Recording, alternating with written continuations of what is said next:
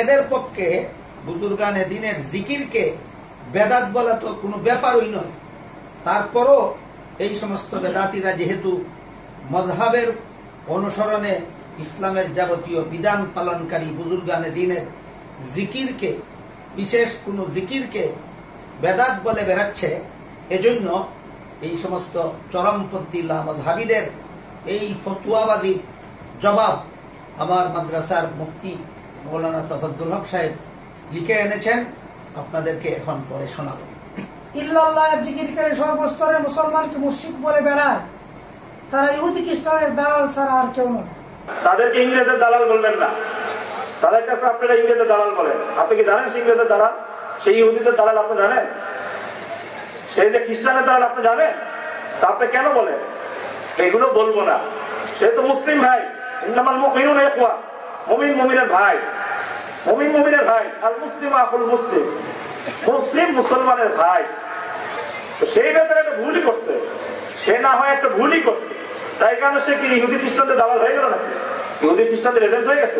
ভুল করলে এজেন্ট তা আমি তো কত ভুল করি? আমি কার এজেন্ট আমি তো কত ভুল করি? নামাজ হাবিদের প্রমাণ, তারা বলে, ইল্লাল্লাহ বাক্যটি একটি অসম্পূর্ণ বাক্য। এখানে হরবে ইস্তেসনা ও উল্লেখ আছে। কিন্তু মুস্তসনা মিনহ তার আমিন উল্লেখ নেই। তাহলে ইল্লাল্লাহ অর্থ হবে আল্লাহ ব্যতীত আল্লাহ সারা এ কারণেই এর জিকির করা না যায় ও হারাম। ইল্লাল্লাহর জিকিরের বৈধতার ব্যাপারে আহারে সন্ন্যত ওয়াল জামাতের প্রমাণ।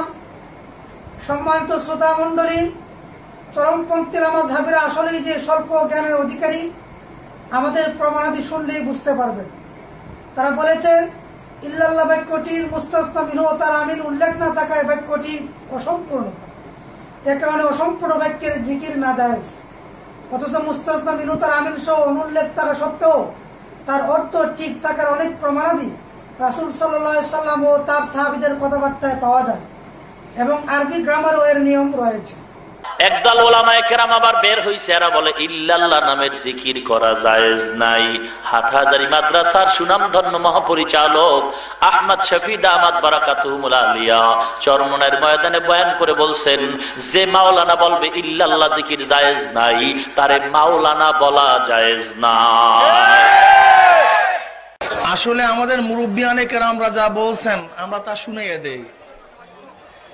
ইল্লাল্লাহ জিকিরকে যারা জায়েজ মনে করেন না, মুরব্বিয়ানে কেরাম, ওলামায় কেরাম, তাদেরকে জাহেল মনে করেন। একেবারে নাহু এবং সরফ, ব্যাকরণের বিদ্যা না থাকলেই ওই ব্যক্তি শুধু ইল্লাল্লাহ জিকিরকে নাজায়েজ বলতে পারেন। যে ব্যক্তির মধ্যে সাধারণত নাহুর কিছুটা জ্ঞানও আছে, সে ব্যক্তি ইল্লাল্লাহ জিকিরকে কীভাবে নাজায়েজ বলবেন, বলতে পারেন?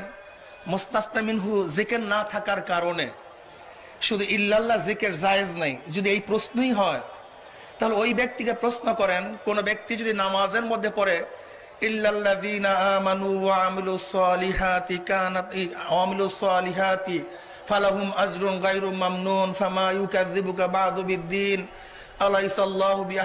হাকিমিন। এই আয়াত পড়ল। ওই প্রশ্ন করেন, এর নামাজ সহি কি সহি না? কি কথা বলেন না কেন? কিন্তু উল্লেখ করা ব্যতীত নামাজ সহি হয়ে থাকে। তাহলে এই জুমলাও কি আছে? সহি আছে। আর তার ফতু অনুযায়ী এই এবারোটা কি নাই? সহি নাই। তাহলে ওই ব্যক্তিকে প্রশ্ন করেন যদি নামাজ সহি হয়ে থাকে তা এবারও তো সহি আর এবারও সহি যদি হয়ে থাকে তা ইল্লাল্লাহ সহি হবে না কেন? তাকে প্রশ্ন করেন। illallah, illallah, illallah,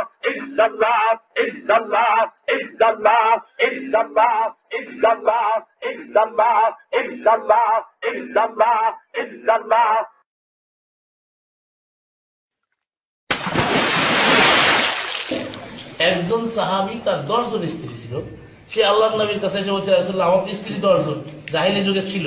এখন আমি ইসলাম গ্রহণ করছি কি বলব? কি করব? আল্লাহ নবী বলছে চারটে রেখে ছয়টা বাদ দাও। কি প্রমাণিত হইল রসুল্লাহর ব্যাখ্যায়? একটা টাইমে রাখা যাবে? রসুল্লাহর ব্যাখ্যা চারটা। আর শিয়া ইমাম কোরআন থেকে ব্যাখ্যা করে নয়টা প্রমাণ করছেন তো এইরকম ইল্লাল্লাহ জেকেরও ওই ঠিক ওইভাবেই কোরআন থেকে অপব্যাখ্যা করে প্রমাণ করা হচ্ছে। রসুল্লাহ কোনোদিন আল্লাহ নবী সাহাবিকে কখনো ইল্লাল্লাহ জেকের প্রবর্তন করেছেন মর্মে একটা দলিল কিয়ামত পর্যন্ত বাপ কবরের থেকে উঠাই এসে দেখাই কথা বুঝতে পারছেন? দেখাইতে পারবেন আল্লাহ নবী ইল্লাল্লাহ জিকির প্রবর্তন করেছেন। দেখাইতে পারবেন আবু বকর সিদ্দিক ইল্লাল্লাহ জিকির পরিবর্তন করেছেন।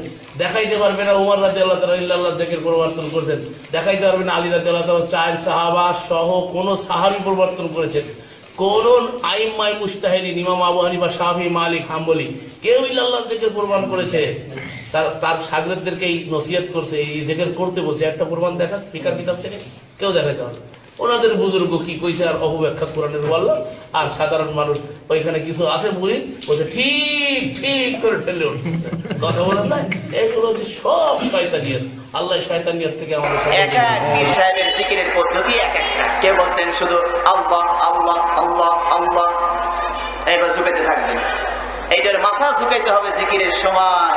এইটা পদ্ধতি দেওয়ার মালিককে। বলেন না এবাদত হবে আল্লাহ। পদ্ধতিটা হবে কার? রাসুলের রাসুলের জিন্দেগি ভরে হাদিস খুঁজে দেখুন তো কোথাও বলছেন কিনা না। জিজ্ঞেস মাথা উপরে নিচে করতে হবে। কোনো জিকের আবার ডাইনে বামে আছে। কোনো দিকে আবার এখানে গুতা মারার সিস্টেম আছে। লা ইলাহা। বামে শয়তান আছে না, শয়তানকে মেরে ফেলে দিতে হবে। লাইনে সাথে সাথে এখানে ধাকিয়েও মারতে হবে শয়তান পালাবে না। এইটা এক পীরের সাহেবের জিকির। আর এক পীর সাহেবের, আমি সিঁড়িতে দেখলাম আরব দেশে অনেক পীরের ই আছে, আরব দেশে কিছু কিছু দেশে আছে। এক পীরের লাফানি পীর। জিকির করতেছে, আল্লাহ আল্লাহ, আর খালি লাফাইতেছে। উপর দিকে নিচ দিকে নামে। আর এক দেখলাম ড্যান্সের মতো করে ভুল হয়ে দাঁড়াইছে। এদিকে হাত ধরে, লা ইলাহা ইল্লাল্লাহ। সব জায়গায় ড্যান্স চলছে, এখানে চলবে না কেন? এখানেও ড্যান্স চলছে। আর এক পীরের দিকে দেখলাম, এখানে এক জায়গায় দুজন সামনে সামনে দাঁড়িয়েছে। এইটা হলো সামনে এটার পিছনে। সবার ভাগে একটা ছেলে ছেলে পড়ছে, আর একজনের ভাগ্যে ছেলে পড়ে একটা মেয়ে পড়ছে। বুঝতে পেরেছেন? এখন ছেলে দুটা মেয়েদের জিকির করতেছে। জিকির সিস্টেম কি? একবার লাইলাল বলে এদিক যাবে আর ওই দিক যাবে। আবার উঠে, লা ইলা- আমাদের দুজন মিট মিট করে হাসে ওগুলো মজার জিকির হচ্ছে তো? হ্যাঁ? খুব মজার জিকির হচ্ছে। নাউজুবিল্লাহি এই যে শত রকমের পদ্ধতি ঝাঁকা ঝাঁকির জিকির এগুলো কোরআন হাদিসে কোথাও জিকির করবেন আল্লাহর পদ্ধতি রাসূলের জিকির জিকির না জিকির না। আকিমিস সালাতা লিযিকরি আমার জিকিরের জন্য সালাত কায়েম করো। জিকির যদি এরকম পাগলামি মুখে আদায় করতে হয় সালাত আমরা কত ভদ্রভাবে আদায় করি? পাগলকে সালাতের কাছে যেতে নিষেধ করা হয়েছে। কথা ঠিক না ঠিক সুতরাং জিকির হবে কার? আল্লাহর পদ্ধতি হবে কার? রাসূলের। যেখানে নড়াচড়ার কথা আছে, সেখানে নড়বেন, যেখানে নড়াচড়ার কথা নাই, শুধু ঠোঁট দুইটা নড়বে। সুবহানাল্লাহ, আলহামদুলিল্লাহ, ওয়ালা ইলাহা ইল্লাল্লাহু আকবার। তাহলে পদ্ধতিগত বিধাত আছে, আবার শব্দগত বিধাত আছে। অনেকে আছে লা ইলাহা ইল্লাল্লাহ প্রথমে বলে, তরঙ্গ আসে না, তরঙ্গ আনা দরকার জিকিরে। জিকিরে তরঙ্গ আনতেছে। লা ইলাহা ইল্লাল্লাহ। আল্লাহ রাসূল বলেছেন, আফদালু কাউলু লা ইলাহা ইল্লাল্লাহ। উত্তম জিকির হচ্ছে পুরাটা বলা, লা ইলাহা ইল্লাল্লাহ, পুরাটা বলা। কিন্তু পুরাটা বললে ঝাঁকি আসে না, তরঙ্গ আসে না। এই জন্য মাইনাস শুরু করে দিয়েছে, মাইনাসের জিকির, কমানোর জিকির। লা ইলাহা চেষ্টা করে, এরপরে ইল্লাল্লাহ গেছে গা ওটাই হজম মাটির নিচে। এবার কি? ইল্লাল্লাহ, বাট আল্লাহ বাট আল্লাহ। মানে ইল্লা, কিন্তু আল্লাহ কিন্তু আল্লাহ কিন্তু আল্লাহ কি? আছে না নাই? কোনটা? না, ওটা দরকার নাই। কিন্তু আল্লাহ কিন্তু আল্লাহ। ওটা ইল্লাল্লাহ বলছে তো, ইল্লাল্লাহ মানে কিন্তু আল্লাহ, তবে আল্লাহ, বাট আল্লাহ। কিন্তু এরপরে হা না না আছে না নাই খবর নাই। ইল্লাল্লাহ, আস্তে আস্তে গতি বাড়াচ্ছে। ইল্লাল্লাহ ইল্লাল্লাহ ইল্লাল্লাহ এর ইল্লাকে ফেলে দিয়া আল্লাহ আল্লাহ আল্লাহ আল্লাহ করবে কতক্ষণ? এন্ড শেষে তো হু একটা আছে। হু হু হু হু হু হু ঘেউ ঘেউ কুকুরের ডাক, ইত্যাদি। এইরকম জিকিরের পদ্ধতি আল্লাহ রাসুল কোথাও দেয়নি আমাদের কথা হচ্ছে রাসুলের শরীয়তের বাইরে আপনি যেতে পারবেন না। যদিও এটা আপনার কাছে ভালো লাগে।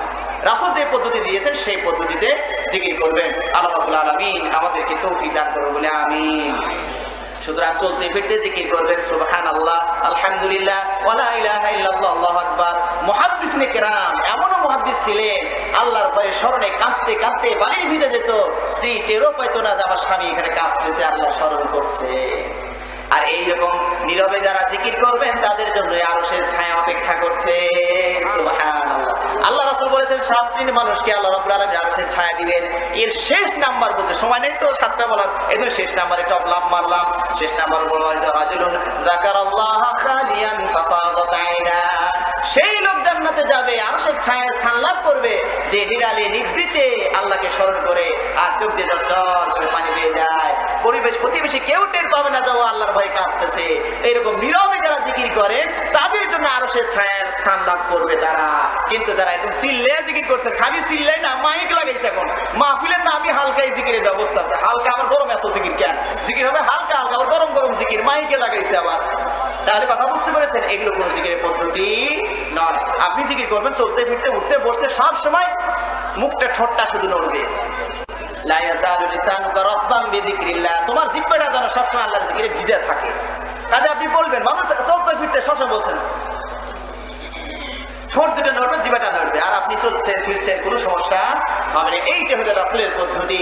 আমাদের কথার একটা বৈশিষ্ট্য হচ্ছে আমরা বাইরে আলোচনা, বাহিরের আজগবি কোনো কেসা কাহিনা বলার অভ্যাস আমাদের নাই। কোরআন এবং হাদিস। এর বাইরে আমরা যেতে চাই না। আপনারা কি চাই না? কোরআন এবং হাদিসের বাইরে যেতে চান না? কে কে একটু হাত তুলে দেখেন না? আল্লাহ আকবর। আল্লাহ আমাদের হাতগুলোকে কবুল করে নেয় সুতরাং বড় পাগড়ি হলেই তার কথা আমি সব মেনে নিব এরকমটি করা যাবে না? দলিল দেখান। আল্লাহ আল্লাহ রসুল বলছেন কিনা তাহলে আমি মানবো। আল্লাহ রসুল বলেন নাই, তাহলে এটা আপনি পান কথা ঠিক না বেঠি এই চরিত্র যেন আমাদের প্রত্যেকের ভিতরে তৈরি হয়ে যায় বলে আমি আল্লাহ শব্দ উচ্চারণ করে আল্লাহ আল্লাহ আল্লাহ আল্লাহ আল্লাহ আল্লাহ জিকির করে, তাহলে এটা শরীয়তে গ্রহণযোগ্য হবে না। যদিও কোরআনে বলছে ওয়াদাকার আল্লাহ দিকরান কাতিরা ফাদকুরুল্লাহ কিয়ামা ওয়া কুউদান। আল্লাহকে স্মরণ করো। আল্লাহকে স্মরণ করতে কোরআনে বহুবার নির্দেশ দেওয়া হয়েছে। কিন্তু আল্লাহকে স্মরণ করার পদ্ধতিটা কার কাছ থেকে শিখবেন? রাসূলুল্লাহ সাল্লাহ সাল্লাম এই নির্দেশগুলোর মধ্যে কি রাসুল সাল্লাহ সাল্লাম অন্তর্ভুক্ত ছিলেন না? ছিলেন। আর তিনি হচ্ছেন স্পোক্সম্যান অফ ইসলাম ইসলামের মুখপাত্র। ইসলামের প্রত্যেকটা আয়াত, প্রত্যেকটা আহকাম, নিদর্শন, বিধান কীভাবে পরিপালন করতে হবে এটা কে দেখিয়ে দিয়েছেন? রাসুল্লাহ সাল্লাহ সাল্লাম। অতএব আল্লাহর দিকির কীভাবে হতে পারে সেটাও রাসুল্লাহ সাল্লাহ সাল্লাম দেখিয়ে দিয়েছেন। আপনি পুরো সুন্না চষে ফেললে দেখবেন আল্লাহ শব্দের, আল্লাহর দিকিরটা যেটা লেসান দিয়ে করার ব্যাপারে রেকমেন্ডেশন দেওয়া হয়েছে, সেখানে হয় আল্লাহ শব্দের আগে কিছু থাকবে, যেমন সুবহান আল্লাহ আলহামদুলিল্লাহ, অথবা আল্লাহ শব্দের পরে কিছু থাকবে, যেমন আল্লাহ আকবর, অথবা সামনে, পেছনে আরও বেশি কিছু থাকবে, যেমন লা ইলাহা ইল্লাল্লাহ, ওয়াহদাহু লা শারিকা লাহ, লাহুল মুলক লাহুল হামদ, ইউহয়ি ওয়া ইউমীত হুয়া আলা কুল্লি শাইইন কাদির। এই এই লাস্ট দিকেরটা এটা আফদালুল উদ্দিকের এমনকি সকল নবী যারা আরাফাতে এসেছিলেন, তারা এই দিকেরটাই বেশি করেছিলেন। আল্লাহ আল্লাহ দিকির কোনো নবীও করেছিলেন, এটাও কিন্তু সহি কোনো প্রমাণ নাই। আপ- আপনি আল্লাহর জন্য কিছু সাব্যস্ত করতে হবে। আল্লাহ কি?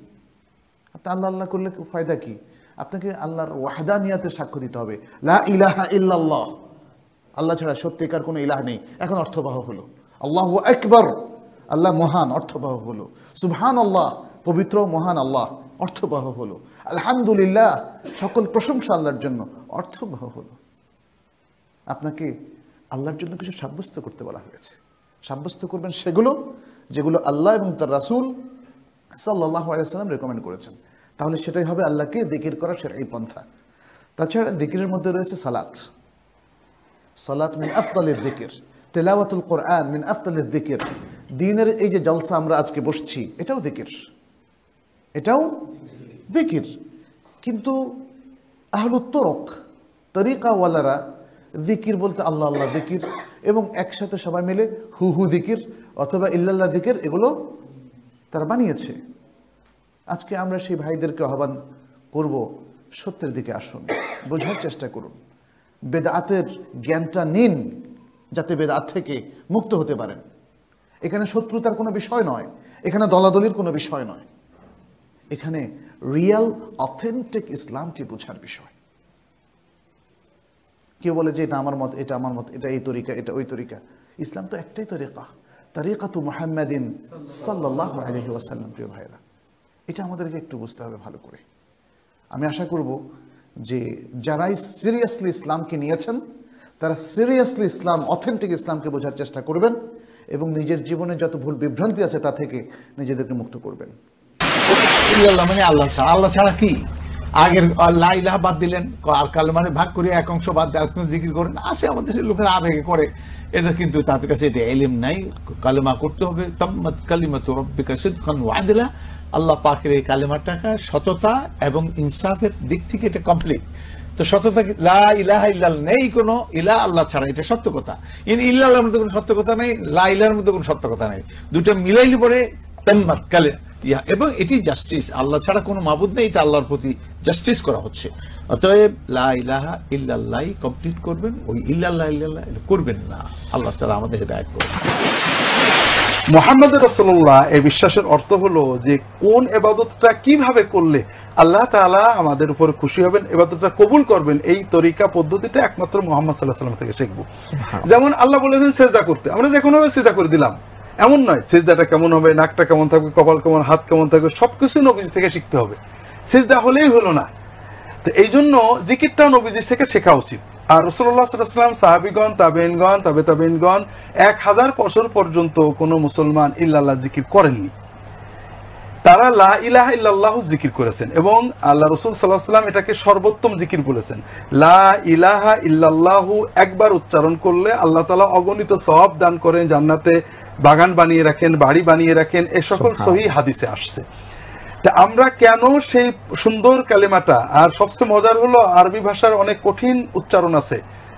ইল্লা ইলাহা ইল্লাল্লাহর ভিতরে কোনো হারফে হালকি নেই। উচ্চারণ কঠিন, জিম বলে নেই, রাল নেই। এত সহজ একটা বাক্য আল্লাহ তালা দিয়েছেন, যেটা সব দেশের সব ভাষার মানুষ সহজে উচ্চারণ করতে পারে এবং এতে অনেক বেশি সব পাওয়া যায়। এটাকে অর্ধেক ভেঙে আমরা কেন করব? অতীত যুগে অর্থাৎ দুশো তিনশো বছর আগে কোনো কোনো বুজুর্গ মুরিদের সাময়িক মনোযোগের জন্য তারা এটা প্রেসক্রাইব করছিলেন দিছিলেন। আমরা মনে করি তারা তাদের একটা অজর ছিল। কিন্তু আমরা যদি রসুল্লাহ সাল্লামের সুন্নতের বাইরে এগুলোকে মনে করি এইগুলো না হলে আমাদের বোধহয় কল্পটা সাফ হবে না। তাহলে আমরা মূলত একিন করলাম যে রসুল্লাহ সাল্লাহ সাল্লামের সুন্নত মতো চলে আমরা কল্পটা পুরো সাফ করতে পারব না। এটা কিন্তু ভাই ভালো চিন্তা না। এজন্য আমরা বিতর্ক ঝগড়া বাদ দিয়ে জায়েজ আছে আরবি ব্যাকরণে জায়েজ আছে আরবি ব্যাকরণ তা আরবি ব্যাকরণ দিয়ে তো আমরা ইসলাম শিখব না। আরবি ব্যাকরণ দিয়ে কিন্তু আকবার আকবার আকবার জিকির করা যায়। কারণ আর কোরআনেও আছে যে আরবি বাক্য জুমলা ইসমিয়া তার মুক্তাদা অর্থাৎ সাবজেক্টটাকে ড্রপ করে দিয়ে শুধু খবরকে বলা যায়। আমরা যদি আরবি ব্যাকরণ দিয়ে আল্লাহর জিকির শিখব তাহলে রসুল্লাহ আসলাম কি জন্য আসছিলেন? তিনি তো আমাদেরকে এবাদত শেখাতেই আসছিলেন।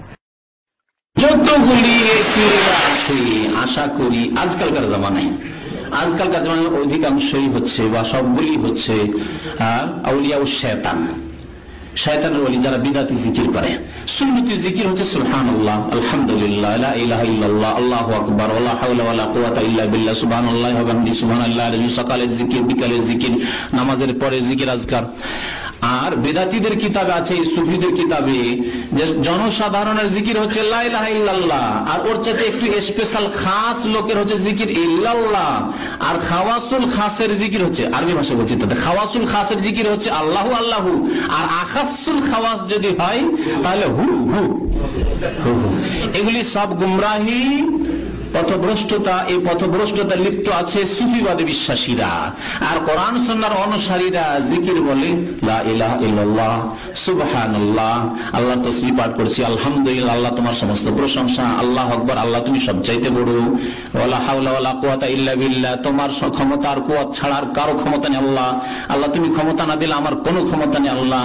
ওয়া বিহামদিহি সুবহানাল্লাহিল আযীম। এইভাবে যত জিকির, আজকার, কোরআন এবং হাদিসে রয়েছে এক কথায় সেগুলি করবেন।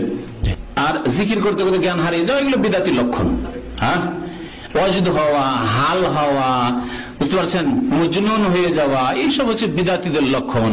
এগুলি সাহাবাই কেরামের হয়নি, তারা উত্তম জিকিরকারী ছিলেন। হ্যাঁ? সর্বোত্তম জিকিরকারী ছিলেন রসুল্লাহাম তার সাহাবাই কেরাম খোলাফার আসেন। তাদের এইসব বিদাতি হাল, ওয়াজদ, এসব হয়নি। সুতরাং হাল, ওয়াজদের কথা এইসব কথাবার্তা যারা বলে তারা আসলে গোমরা পথভ্রষ্ট, আউলিয়া শেতান। আমি এই এতেকাদ রাখি এবং এই আল্লাহ পাকের কাছে দোয়া করি যে আমি আমার এই বিশ্বাসে যেন ভুল পথে না থাকি। আল্লাহ যেন আমাদেরকে সেরাতে মুস্তাকিম দান করেন, আল্লাহ পাক আমাকে সহি কথা বুঝার এবং তার তবলিগ প্রচার করার জন্য তৌফিক দান করেন। কোথায় কোরআন, হাদিস আর কোথায় এই সুফিদের ইসলাম? জিকির আজকার কোরআন জিকির আজকার হচ্ছে পূর্ণাঙ্গ বাক্য দিয়ে। পূর্ণাঙ্গ বাক্য দিয়ে আপনি যদি জিকির করেন তো বলতেন সুবহান আল্লাহ আলহামদুলিল্লাহ। আল্লাহ আকবর। জিকির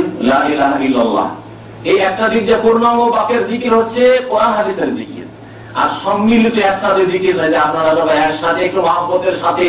একটু জোরে একটু জিকির করেন তো।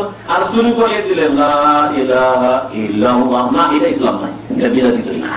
তাহলে একসাথে জিকির নেই ইসলামে? আর অসম্পূর্ণ জিকির নেই, সম্পূর্ণ বাক্য দিয়ে জিকির আছে।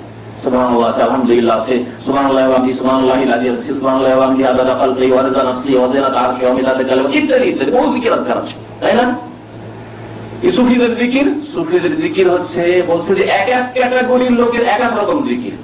তুমি নতুন নতুন মুরিদ হয়ে এসছো? তুমি জিকির। লা লা জিকির। চোখ বন্ধ করে জিকির। নির্জনের জিকির। ছয় লতিফার জিকির। এই দিক থেকে, ওই দিক থেকে পাস করবে এইভাবে জিকির করতে হবে। এগুলো হলো সুফিদের জিকির, এগুলো ইসলামের জিকির না। আল্লাহ কোরআনে জিকির করতে বলছে উজকুরুল্লাহ নবী জিকির করেননি বলেন দেখি? কি খুব করেছেন? হ্যাঁ? আর লতিফা জিকির করেছেন? এগুলো সুফিদের জিকির। সুফিদের জিকিরে বলছে, প্রথম দিকে নতুন নতুন মুড়ি ধরেছেন। বা, সাধারণ মানুষ এটা জিকির আপনার। একটু যখন উপরে আসলেন উপর লেভেলে তখন লা ইলাহা ইল্লাল্লাহ পুরো বলতে হবে না, ইল্লাল্লাহ ইল্লাল্লাহ ইল্লাল্লাহ ইল্লাল্লাহ করতে হবে। আচ্ছা এটা কি তখন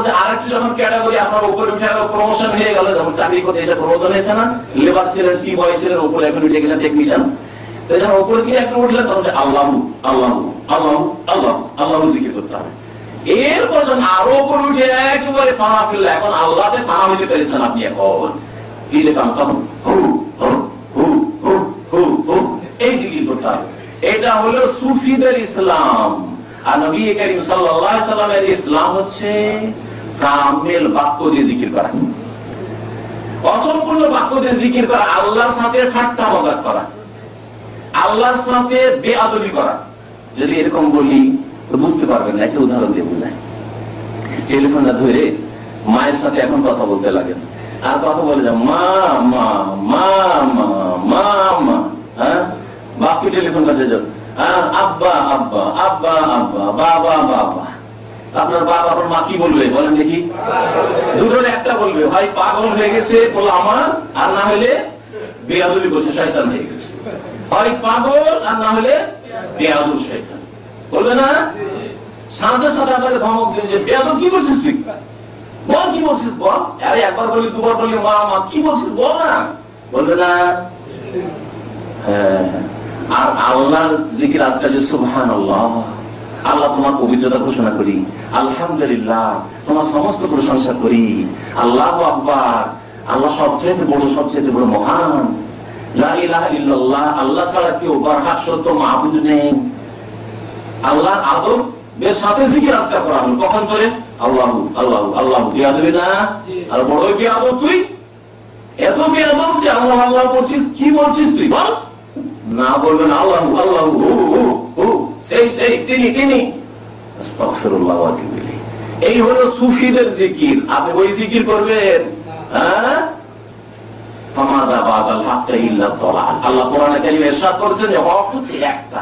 যা নবী করিম নিয়ে এসেছেন নবীর রাস্তা বাদ দিয়ে যতগুলি তরিকত আছে ইল্লা দালাল। সবগুলি হচ্ছে দলাল আল্লাহ পাক যেন বুঝার তৌফিক দান করেন। আল্লাহ যেন সংশোধন করার তৌফিক দান করেন। আল্লাহ যেন দিলটা খোলার তৌফিক দান করেন। ইন্না ফি যালিকা লাযিকরা লিমান কানা লাহু কলবুন আও আলকা সামআ ওয়া হুয়া শাহীদ। এসব কথাই, কোরআনে মাহাদিসের কথাই উপদেশ রয়েছে লেমান কানা লাহু কলবুন যে কলবটা খুলবে, খুলতে হবে। বন্ধ করিয়েন না। ইহুদিদের মতো বলে না কোনো বড় খুলফুল আমাদের কলম খুলবো না, আপনি তো ঢাকা। চলবো না তোমার কথা, এই কথা খবরদার বলবেন না। কলমটাকে খুলেন।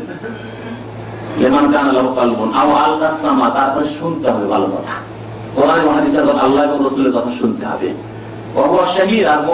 শুনতে হবে কেউ শুনতে বলল শুনছে না গল্প করছে হ্যাঁ? শুনছেন করছেন। হ্যাঁ শুনেছি শুনেছি। ও বক্তব্য শুনেছি। অমুকের কথা বলছেন না আর শুনেছি কি শুনেছেন? ওই একদিন একটু শুনেছি। এতে কখনো হৃদয় পাবেন না। কোরআনে কথা, অন্তর খুলে লাগিয়ে, মনোযোগ দিয়ে আল্লাহ তিনটি কথা সুরের কাফে বলেছেন। এই দিয়ে আমি আমার আলোচনা শেষ করছি। আমার আল্লাহ পাকের কাছে দোয়া করি আল্লাহ আমাদেরকে যখন জন্মসূত্রে মুসলিম করেছ, আমাদের অন্তরকে বাঁকা করে দিও না, আমাদেরকে গুমরা করে দিও না। আমরা মুসলিম হওয়া সত্ত্বেও জাহান্নামে যাব বড় আফসোসের কথা। মুসলিম ঘরে জন্ম নিয়েও জাহান্নামে যদি যেতে হয় তো বড় আক্ষেপের কথা রব্বানা লা তুজিগ কুলুবানা বাদা ইয হাদাইতানা ওয়া হাব লানা মিন লাদুনকা রাহমাতান ইন্নাকা আনতাল ওয়াহ্হাব ربنا آتنا في الدنيا حسنة وفي الآخرة حسنة وقنا عذاب النار ربنا ظلمنا أنفسنا وإن لم تغفر لنا وترحمنا لنكونن من الخاسرين يا حي يا قيوم برحمتك نستغيث يا حي يا قيوم برحمتك نستغيث শেষখানে দোয়া করি আল্লাহ পাক রব্বুল আলামিন যেন এই যে আপনাদের দিন শিক্ষার ব্যবস্থা যে সব ভাইরা করে দিয়েছেন আল্লাহ পাক জাযায় খায়ের দান করেন এবং আমাদের সকলকে যেন দিনের হক কথা পেশ করার তৌফিক দান করেন এবং আল্লাহ পাক রব্বুল আমাদের জবানে যেন তাসির দান করেন, তা যেন আল্লাহ পাক রব্বুল দুনিয়াতেও কবুল করেন, তা আমরা ফল পাই আর যেন আল্লাহ পাক আলামিন আমাদেরকে মাহরুম না করেন। আল্লাহ পাক যেন কবুল করেন এবং আমাদেরকে যেন জান্নাতুল ফিরদৌস দান করেন। আমাদের যারা পথভ্রষ্ট হয়ে রয়েছে, আল্লাহ পাক তাদেরকে যেন হিদায়াত দান করেন। দোয়া করেন কওমি ফাইন্নাহুম লা ইয়ালামুন। নবী করিম সাল্লাল্লাহু দোয়া করতেন যে আল্লাহ আমার জাতিকে হেদায়েত করে, এরা বুঝে না। এরা যদি জানতো যে সুফিবাদ পীর মুরিদের ব্যবসা শিরকু বলি, তাহলে কখনো তারা পীরের মুরিদ হতে যেত না। তাদেরকে কখনো চান্স দিত না গ্রামে। আল্লাহ মাহজি কওমি ফাইন্নাহু লা ইয়ালামুন তারা যদি জানতো যে নামাজ ছাড়লে এত বড় অপরাধ হয়, চিরকাল জাহান্নামে থাকতো, কখনো নামাজ ছাড়তো না। আল্লাহ মাহজি কওমি ফাইন্নাহু লা ইয়ালামুন তারা যদি জানতো যে কবর মাজারে গেলে এই আশা নিয়ে যে কিছু পাবো, বড় শিরক চিরকাল জাহান্নামে থাকতাম তাহলে কখনো কবর মাজারে মাজারে গিয়ে এইসব শীত করতো না। বরং কাঁচা কবরে যেত গ্রামের কবর কাছে যেত আখেরা স্মরণ করার জন্য, পরকাল স্মরণ করার জন্য, আর মাইয়েদের জন্য বাপ মায়ের জন্য আত্মীয় স্বজনদের যে দোয়া করার জন্য যেত আল্লাহ পাক তাদের অজ্ঞতা যেন দূর করে দেন এবং তাদের আল্লাহ পাক রব্বুল আলামিন নেক রাস্তায়, সহি রাস্তায় আসার জন্য তৌফিক দান করেন। আল্লাহুম্মা হাদি কওমি ফাইন্নাহু লা ইয়ালামুন। আল্লাহুম্মা হাদি কওমি ফাইন্নাহু লা ইয়ালামুন। আল্লাহুম্মা হাদি কওমি ফাইন্নাহু লা ইয়ালামুন। সাল্লাল্লাহু মুহাম্মদ ওয়া আলা আলিহি ওয়া সাহবিহি